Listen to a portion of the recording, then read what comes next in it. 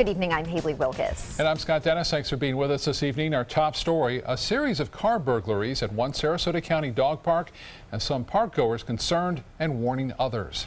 ABC 7's Kate Flexter shows us what law enforcement says you can do to avoid becoming a victim of these crimes.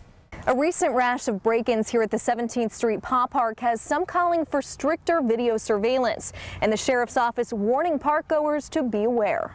I never in a million years thought of this as being unsafe.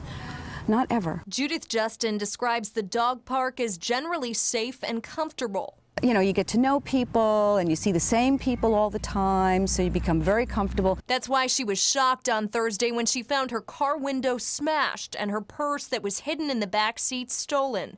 It was one of two incidents like it at the park and one of several in the area. I lost everything. I lost my ID, I lost my social security card, I lost all of my credit cards. Lieutenant Dave Scott, who's in charge of crime prevention for the Sarasota County Sheriff's Office, says this type of crime is fairly common, particularly close to the interstate and in places where someone might be prone to leaving their valuables in their car. We have a lot of organized crime groups around the state that travel the state and they target these type of areas, parks and gyms. Deputies specifically patrol parks and parking lots, but Lieutenant Scott says the best thing to do is obvious, keeping valuables out of plain sight. If they see it, then they know they're going to get it. So if you can hide it, preferably in the secured trunk, if not, if you don't have a trunk, if you can cover it with uh, a blanket or a towel or a jacket, something like that. That's exactly what Justin suggests. You'll always be mindful of protecting yourself and your belongings, absolutely. And I will not be lackadaisical ever again.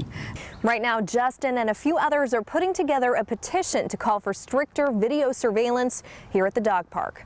Reporting in Sarasota, Kate Flexter, ABC 7, your Suncoast News.